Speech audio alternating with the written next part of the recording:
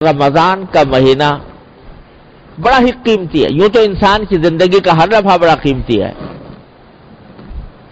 और उसको सही इस्तेमाल करने की ज़रूरत है।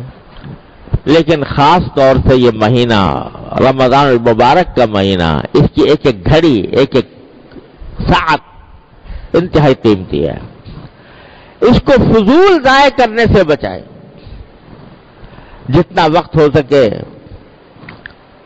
जितना अपने आप को फारिग कर सकें। आम दुनिया के धंधे में हम दिन रात मुबतला रहते हैं, वो भी शरीयत के दायरे में हो तो वो भी बाई से अजरी है, इबादत ही है। लेकिन बहरहाल इस जमाने के अंदर अपने आप के, अपने दूसरे मशागिल को कम करके, जितना हो सके, जितना कम कर सके दूसरे मशागिल को।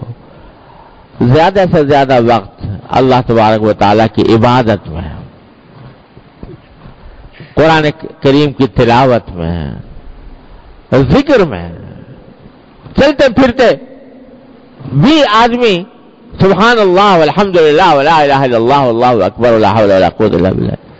तीसरा कलेमा चलते फिरते जबान पर रहे। और जो नमाजें आम दिनों में नहीं पढ़ी जाती नहीं पढ़ने की तोफीक नहीं होती। तहजुद है। लेकिन शहरी के लिए उठते हैं तो थोड़ा पहले उठ के कुछ रकते हैं आठ रकते हैं तहजुद की पढ़ लें। मगरी के बाद छह रकते अवाबीन की पढ़ लें। जोहर से पहले तुलु आफ्ताब और जोहर के दरमियान इशराक और चाश की नमाजें पढ़ लें। जो आम दिनों में नहीं पढ़ जाती, इस जमाने में पढ़ लें। चलते फिरते ज़िक्र अल्लाह तबारक व ताला का जबान पर रहे। फजूलियात से अपने आप को बचाएँ, वक्त ज़ाय करने से बचाएँ। तो ये महीना इंशाला बड़ी बरकतों का, रहमतों का और आइंदा की ज़िंदगी को दुरुस्त करने का ज़रिया बन जाएगा इंशाला मन सलीमत लहू, सलीम लहू रमज़ान, सलीमत लहू सना।